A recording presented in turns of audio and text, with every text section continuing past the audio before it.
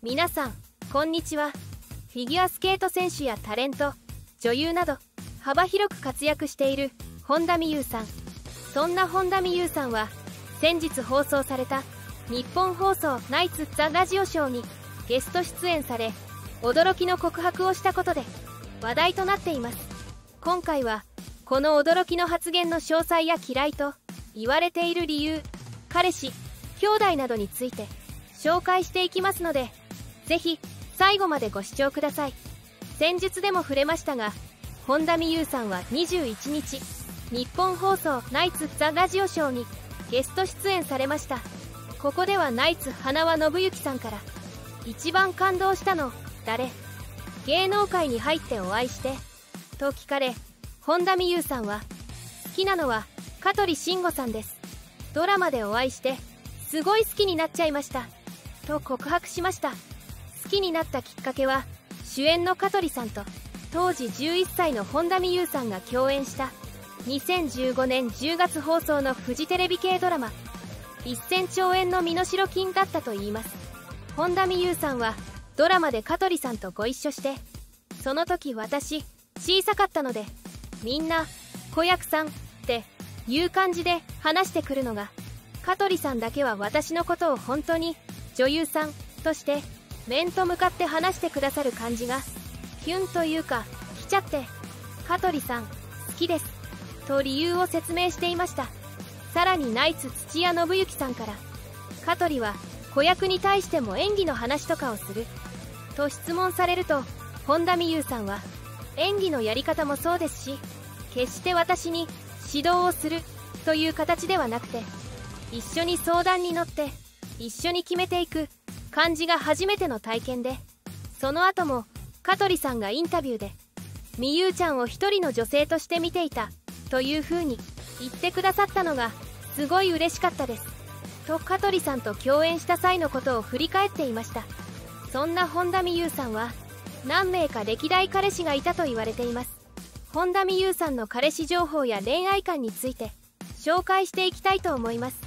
まず1人目が鈴木福さんです。関係性を調べてみると現在の事務所は別ですがテアトルアカデミー出身で今も仲がいいそうです。2人がお付き合いしているのかに関しては断定できる情報はなく結論的には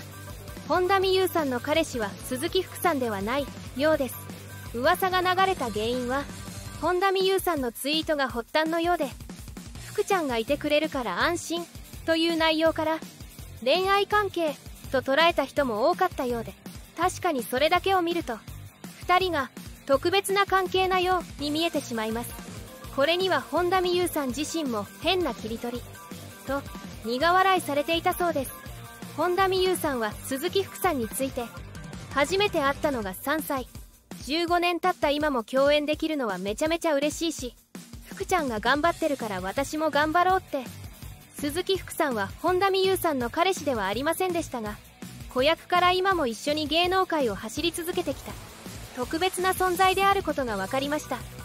福ちゃんという呼び方も仲の良さを感じますね。他には藤ヶ谷大輔さん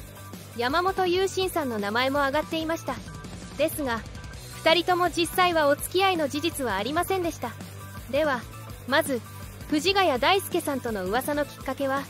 2016年7月16日に放送された大型音楽番組「音楽の日」での藤ヶ谷大輔さんのトークだったようです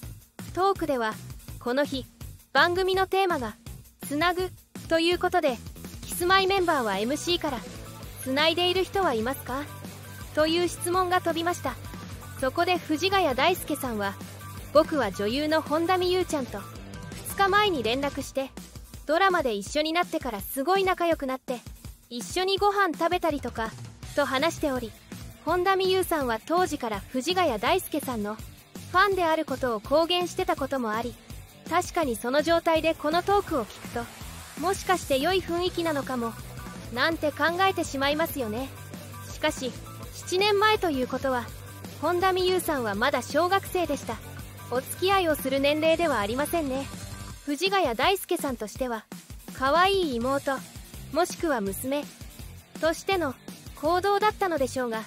藤ヶ谷大輔さんのファンからすれば気が気じゃなかったそうでかなりの量の批判コメントが殺到したのだとか。次に山本由伸選手との噂についてです。こちらは本田美優さんの山本由伸さんへのラブコールが噂のきっかけだそうです。本田美優さんは山本由伸さんの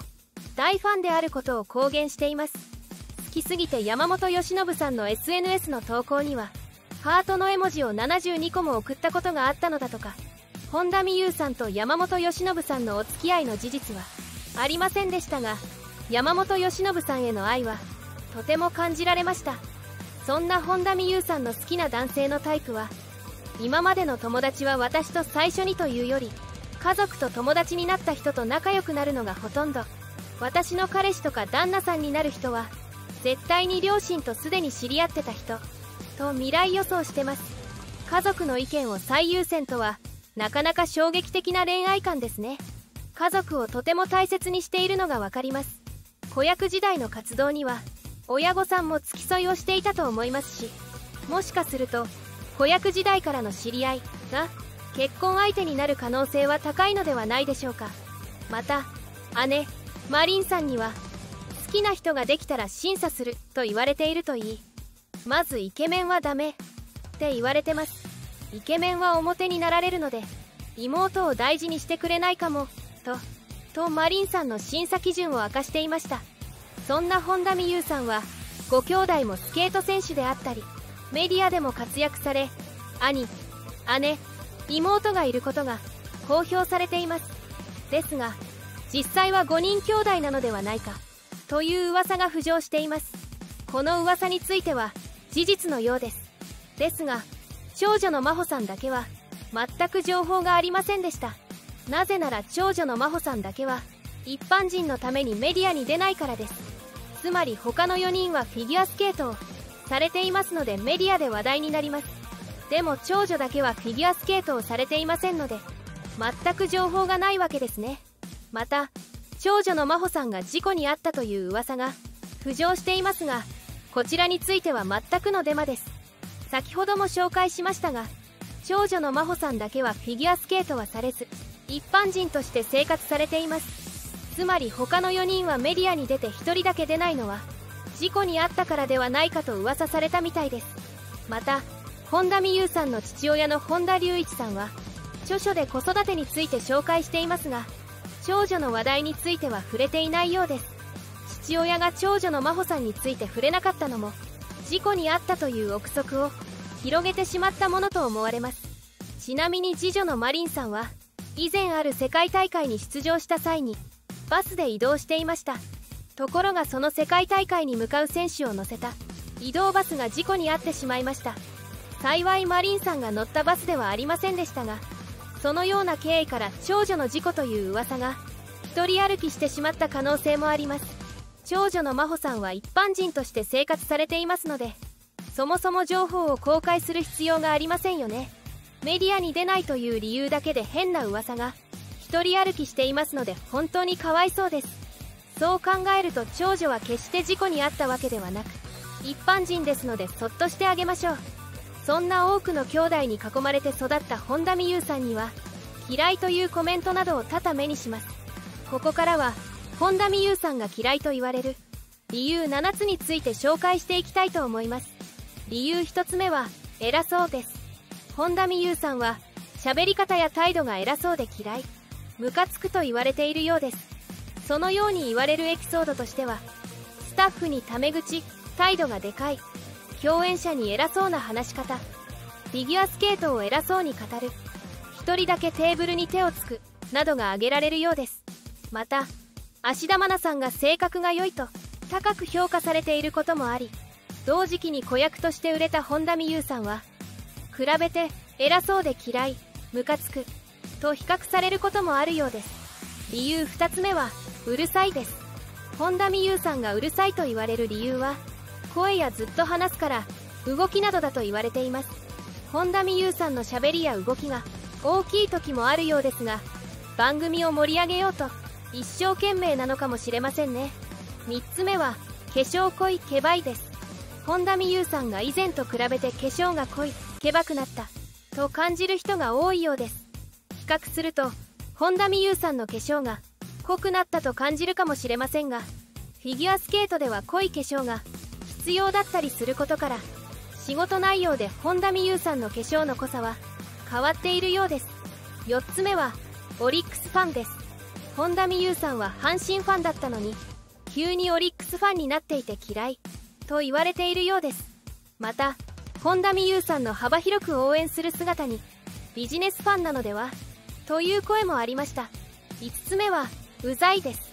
理由としては彼女目線のような発言と画像の投稿が一部の人からうざいと言われる要因になったようですね。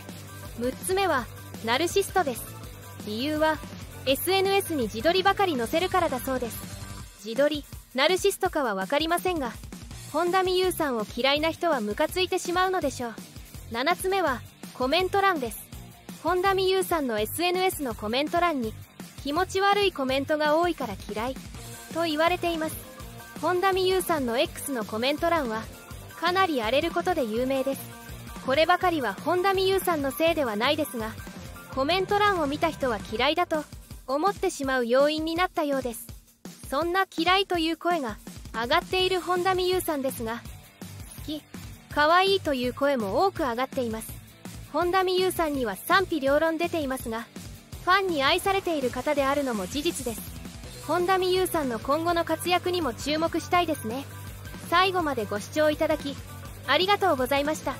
コメントを残してくれると嬉しいです。チャンネル登録高評価もぜひお願いいたしますそれではまた。